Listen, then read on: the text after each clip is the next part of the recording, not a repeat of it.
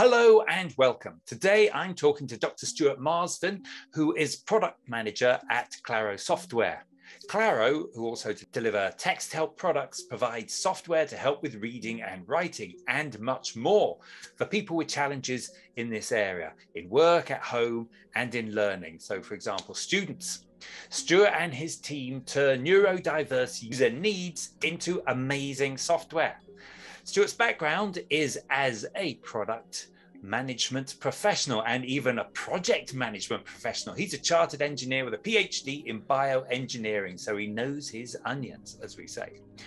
And today I'm talking to him because technology can be transformational when managing dyslexia and other associated conditions. But sometimes learning how to use new software and finding the time to embed it in working practice, especially if you're already stressed, frustrated, and overwhelmed and running to keep up with everybody else, can be challenging. So, I have some general questions to ask Stuart about assistive software and how to make the most out of it.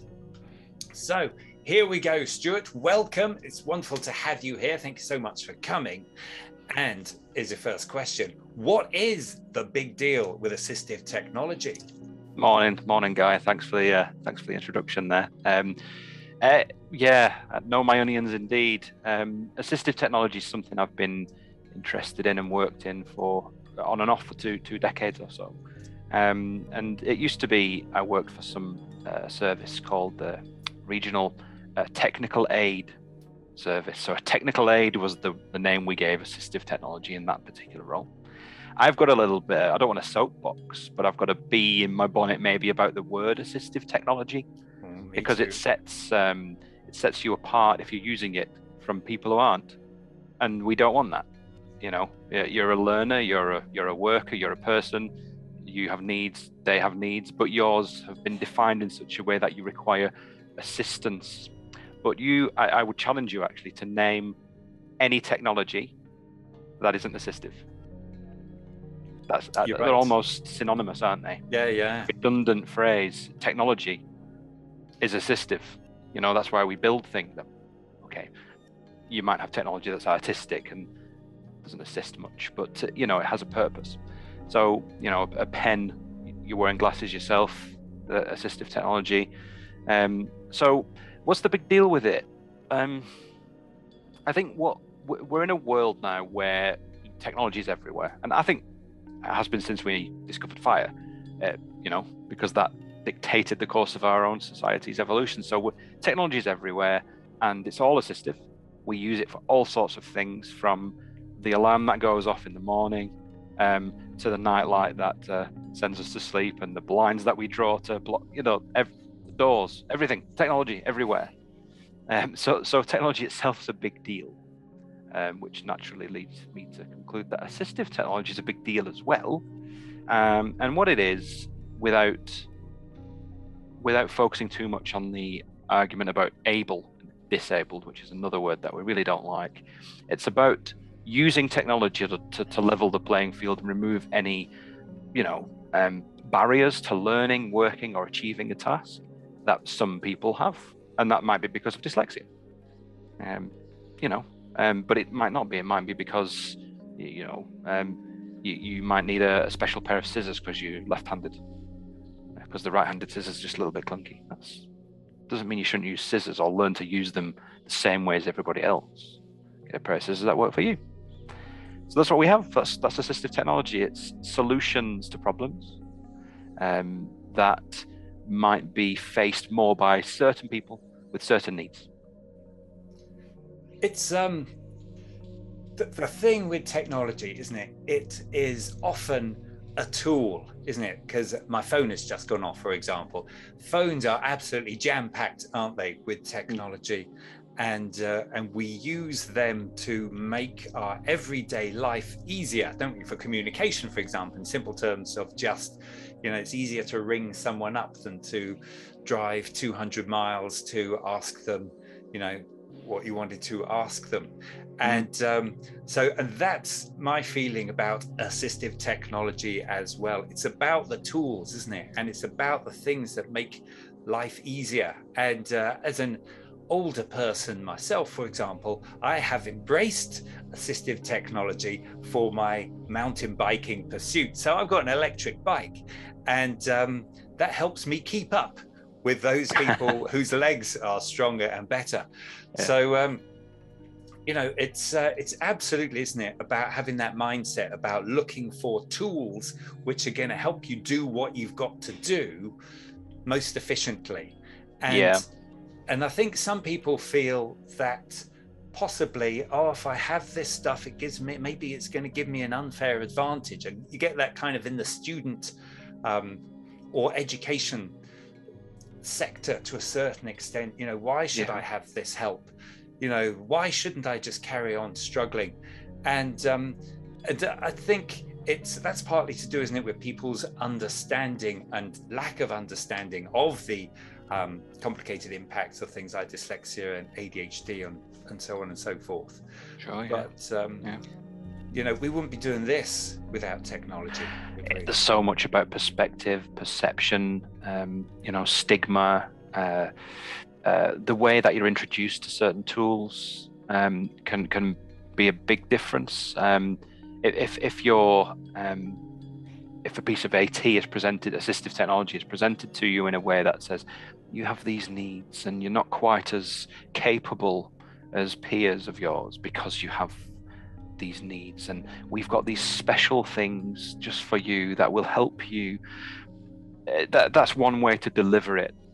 The other thing is the other way and another way is to say you've got these different ways of thinking.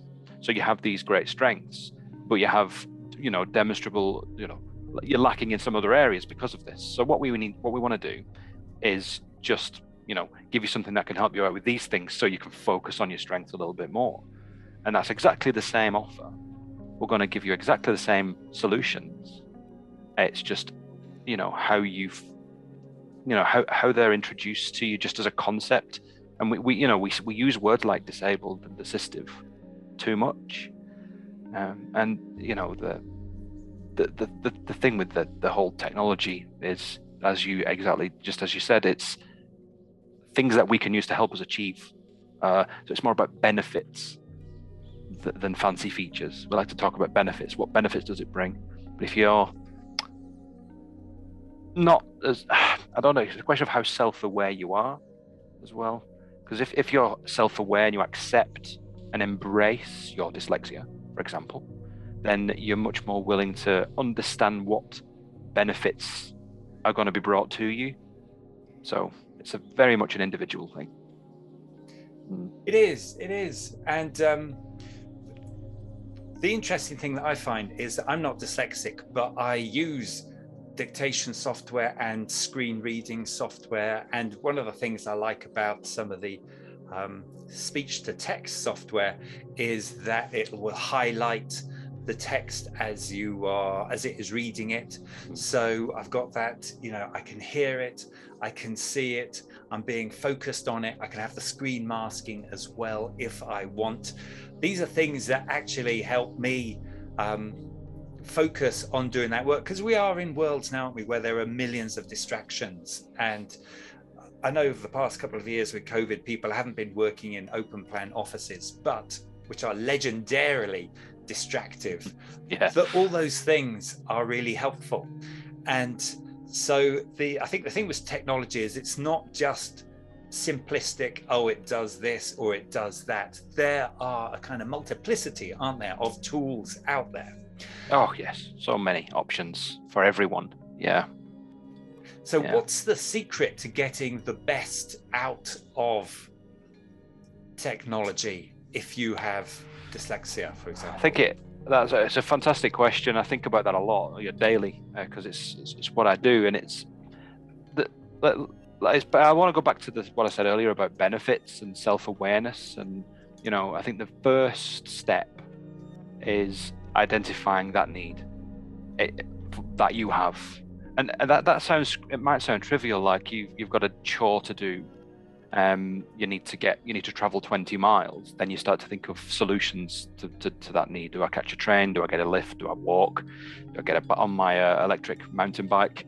Um, you know you know you think about solutions to that need but you need to first have clarity on what that need is.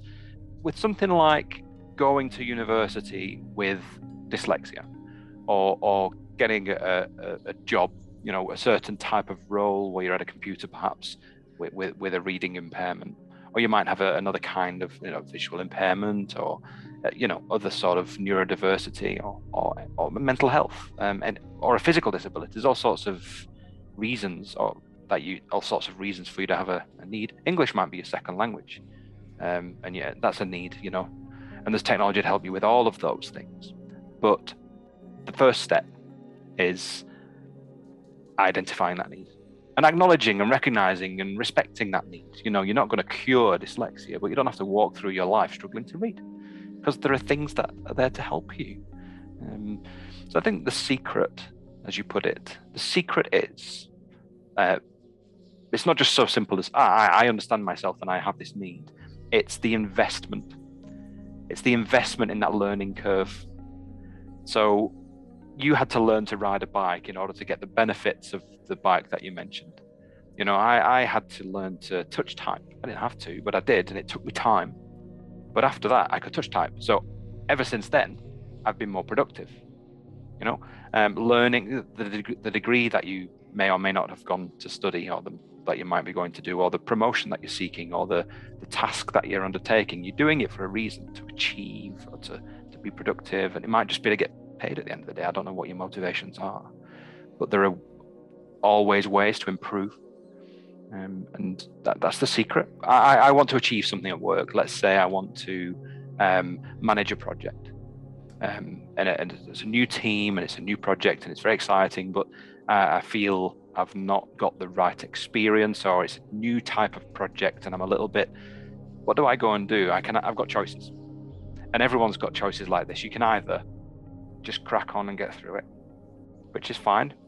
Or you can go away, spend a bit of time, upskill, learn, prepare yourself, get the tools you need, understand the benefits they will bring, and then the, the rest of that process will be, you know, easier for you and allow you to achieve. So I think the secret is the, for fear of repeating myself, I think it's understanding the needs and putting that time in up front, investing that time in learning how to use the things that are available to you. Yeah. Yeah. No, I think 100%.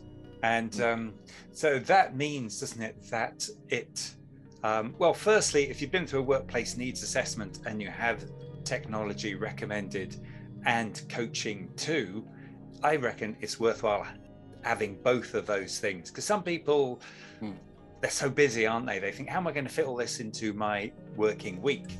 So, and similarly, students, you know, they sometimes don't see the obvious rewards. So, um, I think they go together quite well because of that uh, kind of need to develop self awareness, to be sure, isn't it? To understand yourself. How can I use these tools? And often having a chance to turn ideas around with other people and maybe hear what other people's experiences um, are like is useful. Mm. So the uh, which brings me on to my next question is how would you uh, define the rewards of using technology? I think the, the rewards really relate again to the needs that you have.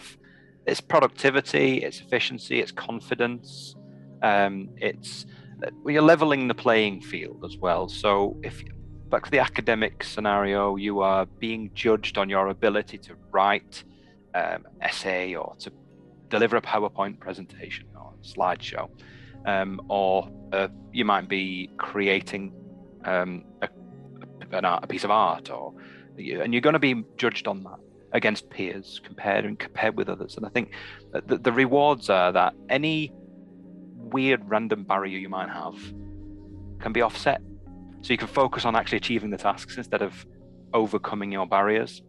So someone said to me um, right or wrong, I don't really have a view necessarily on this, but they said to me, and they were talking about just just learning in general uh, in an academic university sort of setting, but it applies to life. They said that learning to learn builds resilience. You know, just just the process of learning to learn, it's tough. There are challenges, there are barriers to overcome. If you have extra barriers, you're already pretty resilient, though, I think. So the extra barriers of learning to learn on top of the barriers you already have can be can be prohibitive sometimes. They can stop you from achieving. They can stop you from putting yourself forward. They can stop you from applying for this job or this course, or stop you from reaching out for an opportunity because you feel you don't have the capability. That's that's the, the reward is that we can offer the AT people like us, we can offer the coaching, the solutions, and these tools that you can use to get past that. Know, so you can achieve. There's nothing, nothing to stop you from achieving exactly the same way as anyone else would. Um, dyslexia is a reason, not an excuse. You know, um, and so yeah, I think it's just technology is amazing. Figure out what your needs are, learn to use the stuff that can help you, and then embrace it. You know, and then go off and achieve. I think you're absolutely right, isn't it? Because if you can, um, if you can get the technology to work, so that means working um, often with the IT department if you're in the workplace, isn't it? Or yeah, lots of software we're and, talking about here. Yeah, there's lots of yeah yeah. because it, it, takes a bit of perseverance doesn't it? You've got to make sure you've got to you know you've got to remember to use it. You've got to have the training. You've got to practice it. You've got to think about how am i going to use this stuff? What are these tools going to be effective doing? So it takes a bit of perseverance. And when you're kind of under the cosh sometimes that um because it's an extra layer of stuff to do, isn't it? That can fall by the wayside. Mm, and feels like more work. Yeah, yeah, yeah. And people go back to kind of emergency survival mode, which is just put in more hours. And yeah. the cost of that, in my experience of talking to people, is it's just exhausting. Mm. And, you know, it, everything takes so long. So it's, to me, it's a, if you can persevere and hopefully with the support of the people around you, get to a point where you can use technology as the effective tool. I mean, just in the olden days, you know, when phones first came out, we were all struggling. You know, how how do you do a text message? How do you do email on your phone? How do you do all this stuff? But we persevered because we could see the benefits. And for people with dyslexia, often they might be the only person where they work who's got this stuff. So it can be challenging. But There's a social pull, isn't there, with the text messages when they were all brand new, yeah, everyone yeah. was doing it. So you wanted to join in you wanted to understand this and you were you were missing FOMO as they say these days. Yeah, yeah. You know, you need to learn this stuff. But there was certain maybe generational things. Some people are, I'm not going text messaging. I don't need text messaging. We you know, we used pigeons when I was a lad. Um, so it's different with assistive technology because you might be the only person in the room that's using it. Um, so that that certainly is a barrier. It, it can be. Yeah. But the rewards, aren't they, are that you save energy you do stuff a lot quicker. All that reading and writing stuff that takes so long can be done quicker. You may not be as quick as someone without dyslexia, but it's going to give you back some time. And you um, do have strengths as well. Absolutely. Um, you know, different ways of thinking, the big picture, the creativity that often comes with dyslexia is is more than enough usually, or often to offset this imp- impediment. Um, I think that, what, what you're saying is work smart, not hard. Exactly. Beautifully put. So lyrical. But, and it is that, isn't it? Because, you know, we all want to, um, where we get our job satisfaction from is being creative, isn't it? Is coming up with ideas. And if you're dragged down by the drudgery of the reading and writing, you're not in a great place to think creatively. So if you can, if you've got technology to make those tedious tasks, and often, you know, they are admin related, aren't they? Kind of stuff. It's not the joy of the job. So the technology gives you that space, doesn't it, to mm-hmm. really do the the bit that you signed up for. You know, whether it's a course yeah. or work, it gives you that platform. I think. Yeah, it does. It does. It's the the, the sort of from from here to there journey of, of achieving something, whatever it is. Like I said, work or a home or a hobby. You know, you you, you, you get the tools or various tools you try different things you don't know you don't know at that stage what's going to work for you until you find out really. Get in there and look, try to learn it and embrace stuff like coaching and um, help, even help manuals and practice uh, making perfect. And you're never born you, you're not born with the English language, or you're not born with the ability to to walk, you're not born with the ability to touch type, or, or chop an onion really fast, or whatever skill Yeah, yeah. you're proud of. Um, you learn them, and then you can look back and go, "Wow, I remember a day where I couldn't do that, uh, but now I can." Hmm. Wonder what else is in my future. Yes, yes. So, um, the can you tell us a bit about what you do? Because you're obviously very insightful and have a very positive angle on these things. So, what do you actually do in your day job? I, I spend a lot of my time suffering from imposter syndrome. I think uh, because I'm a neurotypical.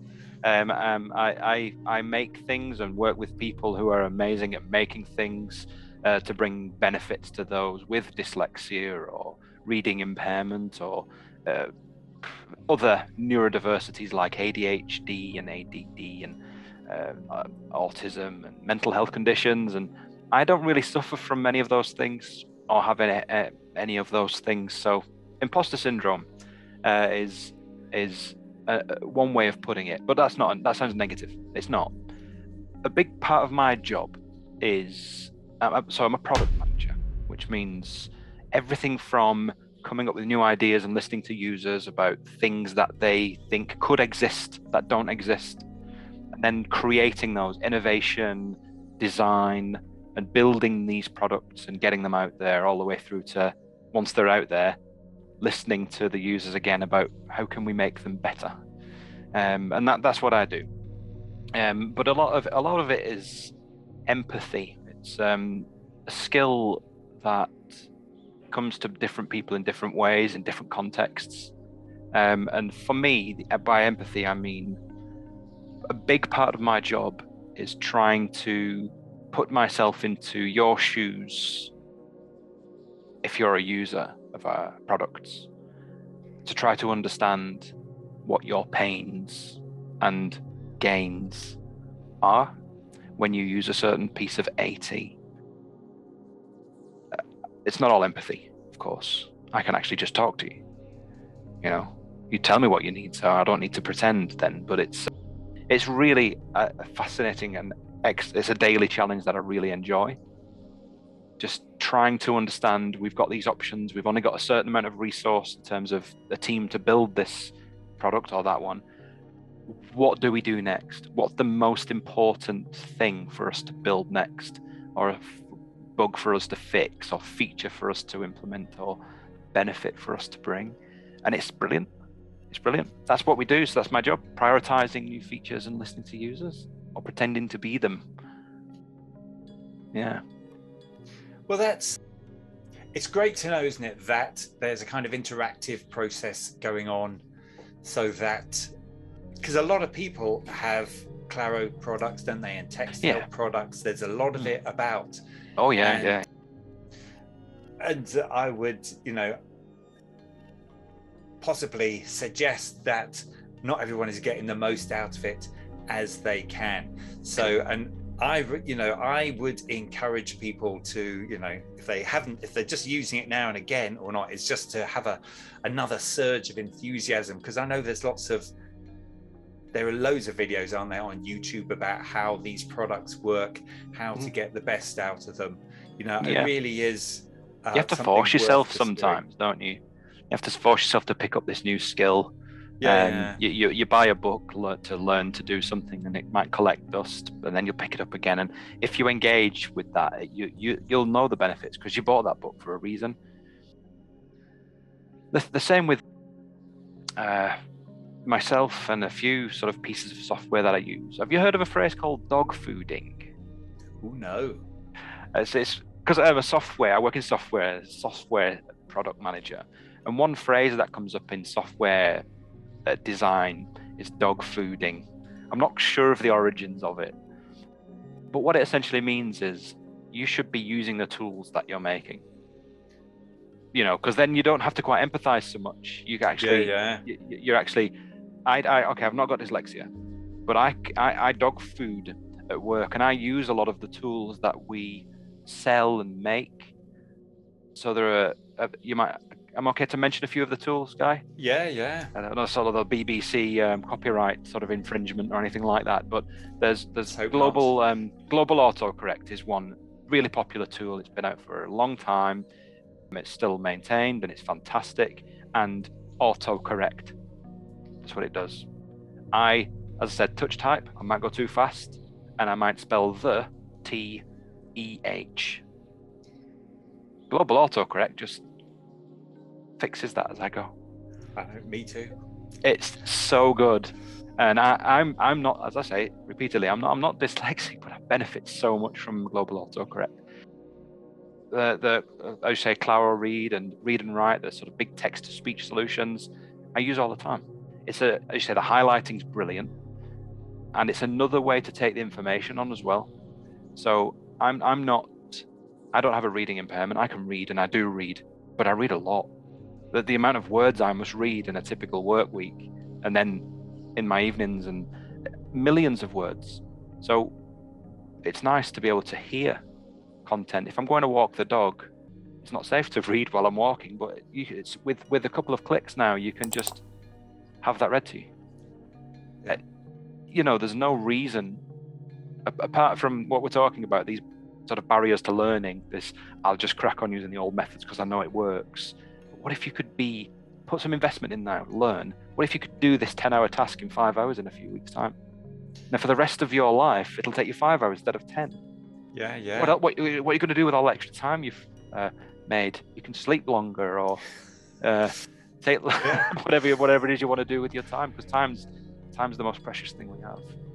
Yeah, but dog fooding, dog fooding. I've got loads of dictation software I use, uh, text to speech software, the autocorrect, the product that I talk about the most, Writing Helper, I use to construct documents. It's I'm using I'm using assistive technology all the time.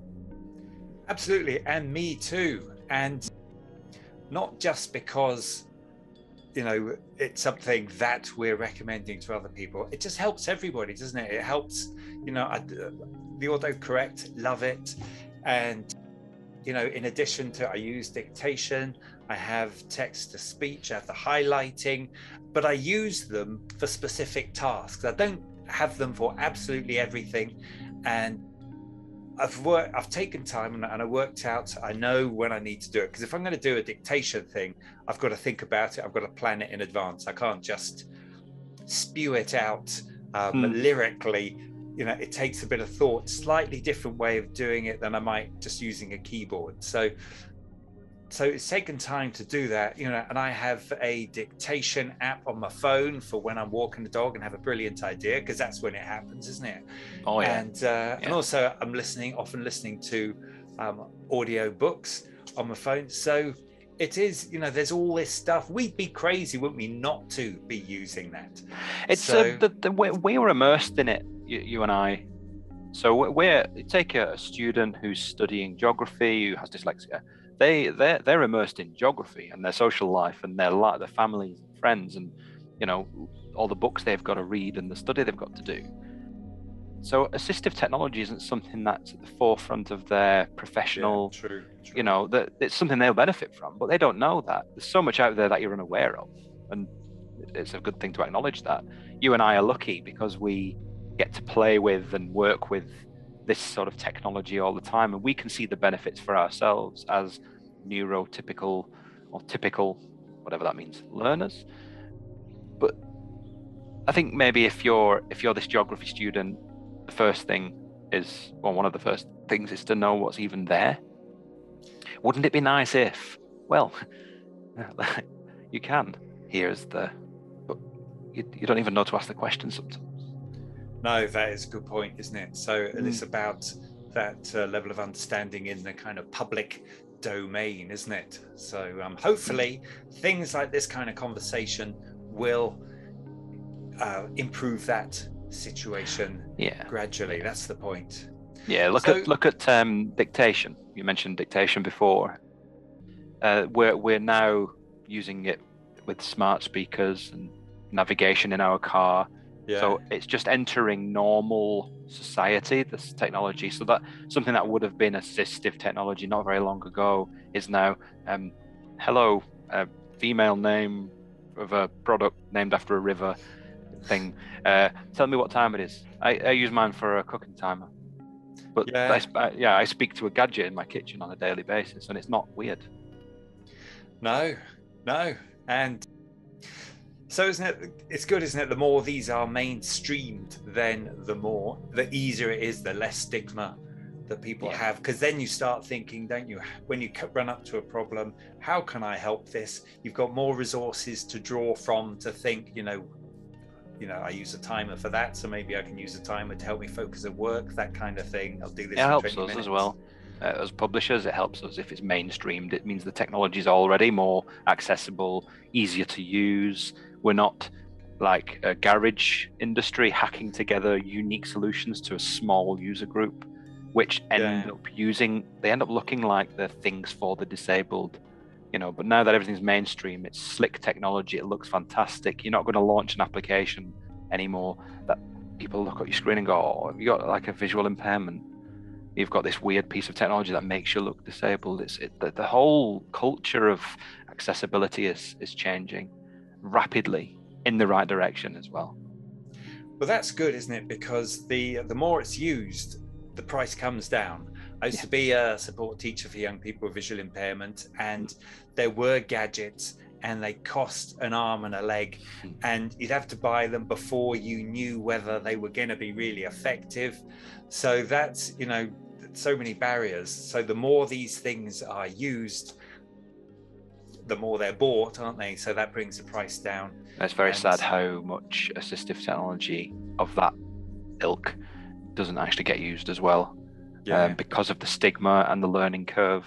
You know, the benefits are clear, but you know, when when you when you're a, a teenager or you, are in a, a, certain group and you don't want to stand out as the one with these needs, you just want to, you know, just want to crack on and learn, and you know, you don't want this thing that you have to stick to your arm or your head or your computer screen. And no. it collects dust. It can collect dust often or it's something you feel like you need to go and do in isolation. You know, some things like dictation you wouldn't do in a crowded room. you know, uh, which makes sense. You know, you might be the only one in your workplace using a particular piece of technology, but that's that's okay. It, yeah, it's it's one of those things, isn't it? That you know, you hit the nail on the head, don't you, when you said that we're immersed in it. So when you're immersed in it, you can think, oh, it's brilliant. Everybody's using it. Why aren't they using it? Kind of thing. And they're in a different world. So this is, I'm on a great mission this year. 2022 is making a difference for people with dyslexia. And what can you do practically so my message to people is, you know, if you work in an office with other people, you know, use dictation, use screen reader, because you can get it often, can't you, without assistive software. I know Microsoft and Apple have these things, and um, you know, if the more mainstream it is, then the less apprehensive people will feel about using it because when someone comes along and says, "Oh, what are you doing?" you say, "Oh, I'm just listening to." What it's um, what I've written, I'm having it read back to me, then if other people say, "Oh yeah, I do that all the time as well," it just yeah. takes a level of pressure off because you think, "Oh, I'm just same as everybody else," which is what we all want to be. You don't need to be apologetic. Yeah. Exactly. Yeah, yeah. It's it's it's, it's this uh, happening all the time. All technology goes through these the this sort of phase of newness and you know what, what, what, you're doing there. So I'm, I'm just um, I'm, I'm dictating my uh, uh, Victoria sponge recipe to this uh, black cylinder on my kitchen worktop. Okay, whatever. Six months later, everyone's you know, I, how did you dictate that that that, that recipe? To, to know, it's it's what is it? market market pull and technology push and all of those sort of ways of thinking. It's it's just I don't know, I don't want to suggest that it's the way to work. It's really every single one of us. Take 100 people in a room and count the number of ways of learning, and you'll have 100. No yeah. two people learn in the same way. You have, you might be, you might use highlighter pens when you're marking up a book. You might prefer to work in a certain sitting posture, or you might, you just, everyone's got slightly different sort of approaches to things. And what we do And the way that I want to see AT is as uh, we can't use IT, it's been taken, but inclusive technology, not assistive technology. Um, but it can't, you can't call it IT, we call it AT. Um, but inclusive technology is just something that anyone might be able to benefit from, like any piece of technology. And you, as a user, there's some onus on you to, find these tools and find the ones that work for you. But if you don't know what questions to ask, then you might not find these things that could really transform the way you achieve things. So that's the mission, isn't it? That's what we do. That's what we're here for, raising awareness, offering these potential solutions. So, you know, I could talk to you all day, but obviously we've got to stop. But you brought us to a really important point, which is people need to ask, I guess, how can I do this?